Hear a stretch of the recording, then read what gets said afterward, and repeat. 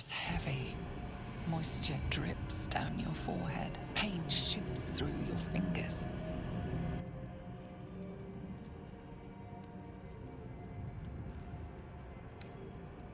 The ache builds as you squeeze your hands together.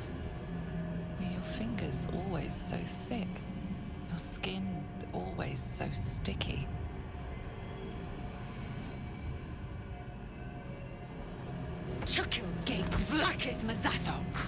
Can you feel it crawling through you? Tendrils squirming in your chest, gripping your heart, piercing your belly. Your bones popping, your flesh swelling. I can. I see it in you. I feel it in me. We are lost. I will be quick with my blade. First you, then the others, then myself. Your minds intertwine. You sense a touch of uncertainty, a touch of disgust.